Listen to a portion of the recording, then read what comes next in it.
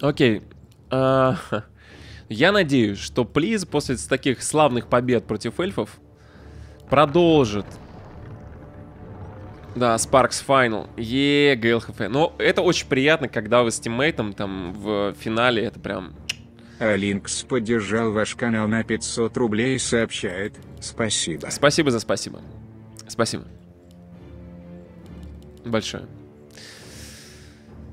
Близкие некоторые игры, конечно, такие качели тоже. Пиу-пиу. Я надеюсь, что будет потма, и у нас будет сразу развилка по стратегиям. Но играть против тиммейта... ну, то есть он, он знает, скорее всего, они катают кастомки, или, по крайней мере, делятся инфой, и... Сейчас посмотрим. Демон Хантер первым героем. С этой стороны и Демон Хантер с другой. Но мы вспомним прошлую игру, она была тоже зеркальной по героям, тем не менее, Концовка была непредсказуемой. Одни эльфы. Ну, слушайте, побеждают сильнейшие. Давайте объективно. Эльфы не то чтобы сильнейшая раса, но представители, которые вот за эльф играют, они, ну, явно получше остальных на сегодняшнем турнире. Нет никакого дисбаланса, понятное дело. Там, ну, погрешность. Вас... вас... Ктек Помад переподписан 21 месяц. Ничего себе, как кота некроманта озвучил товарищ. Вот, дисбаланс есть только в том случае, если у вас прям близкий уровень с товарищем. Если вы там играете в батлнете или там, не знаю, не в батлнете, где-то еще, на нетизе, и у вас какая-то раса пинчит, и вы не знаете, что с этим делать. Скорее всего, проблема в коте. Э, проблема в вас, а не в расе. Потому что возьмите игрока классом повыше, он, скорее всего, поставит любую расу и вас катнет. Вот. Ну и в конце концов, в топе турниров очень часто мы видим представителей всех четырех рас. Вот. Как-то так.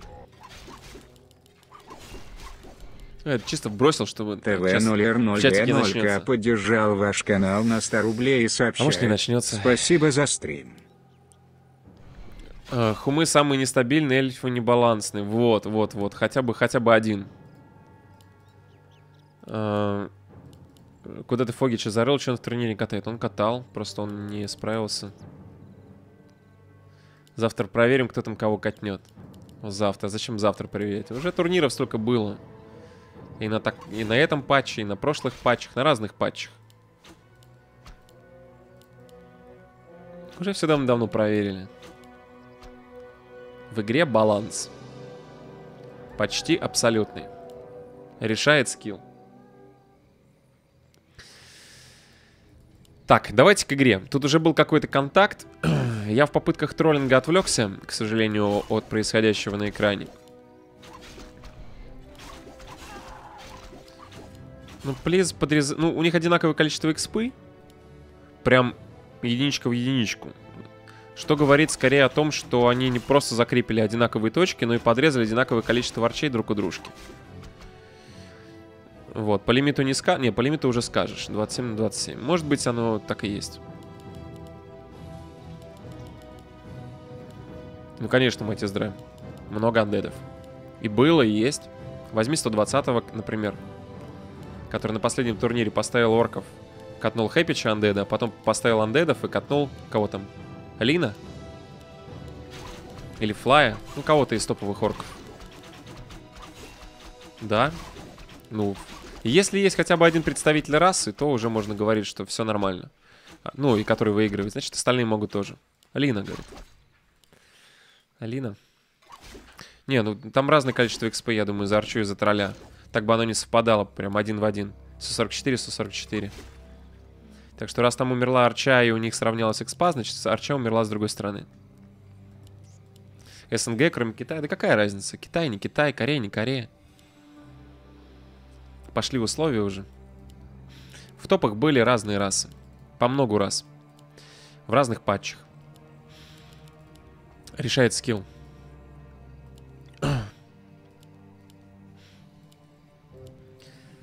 Так, Нага.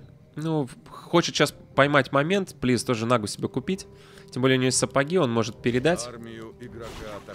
О, сейчас крипджек можно хороший сделать. Наги сапоги почему-то не передает. Врывается. Во-первых, арча в сетке. Тут же просветка. Другая арча подставляется.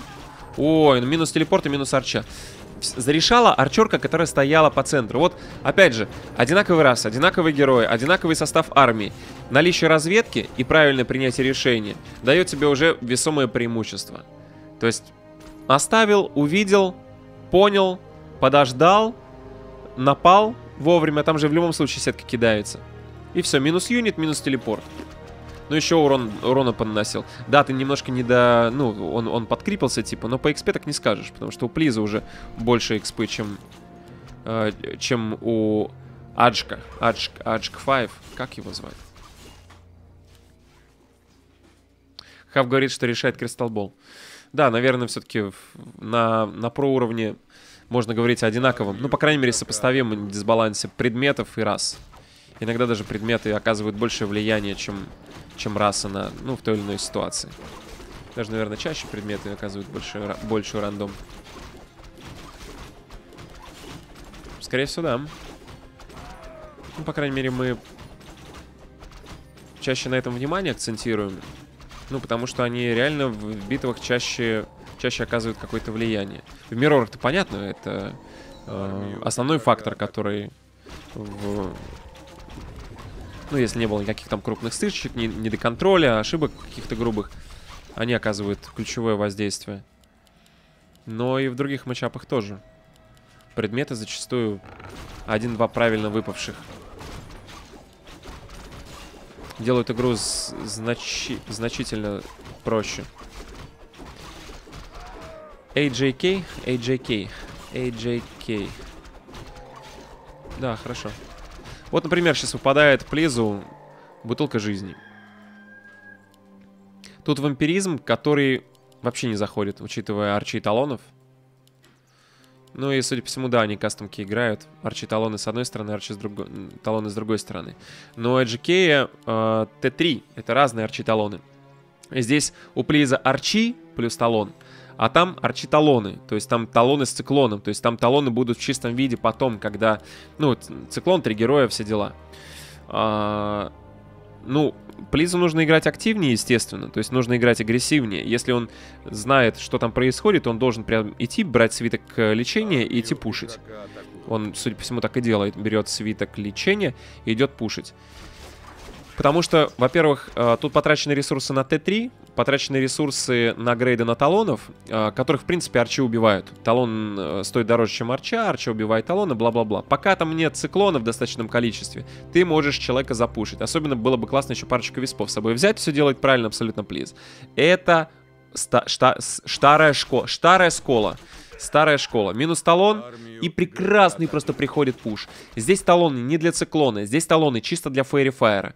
Забегает, видит Т3, пытается убить магазин. Это, блин, не просто так. Магазин это арба. Арба это...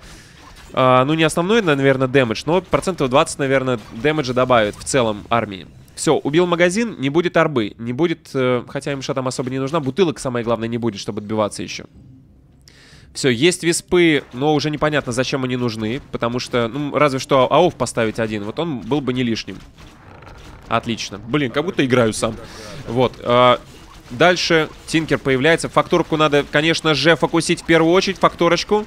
Инвул пошел. Тинкера фокусит. Свиток лечения теряет, тем не менее, одну арчу. Форкет минус Тинкер. Почему не завкусил факту? Факта здесь большую часть урона наносит. И вот Артефакт, который решает. Бутылка пропита. Дима прорывается. Нага пасует. Вот надо было все-таки факту фокуснуть. Два залпа всего лишь. Блок на Нагу. Это из изявый финал для Плиза. Просто. Сыграно шикарно. И тут подблочил еще Арчой шикарно. Дима не может пройти, телепорта нет. Он отсюда вообще не уйдет при правильной игре. Это ГГ. Пишем, выходим просто. ГГ ВП. Шикарно. Чистенько. Просто вот правильные решения в определенный момент. Отличный контроль. Все четко. Меня такие игры, конечно, вдохновляют. Пойдем сейчас с отличным настроением с Соколом в PUBG играть. Просто с прекрасным настроением. Флиз, безусловно, герой сегодняшнего дня, потому что замочил серию серьезных эльфов. Во-первых, он замочил э, Лил DC. Подождите. До этого еще кто-то у него был, да? Кто-то... Ну там... И... Нет, подождите, кто у него был? Кого он убил? Хами? Ну, Хами-то ладно. Да, мы начали смотреть с Lil DC, потом Соник, и потом, собственно, финал. Красиво. Красиво.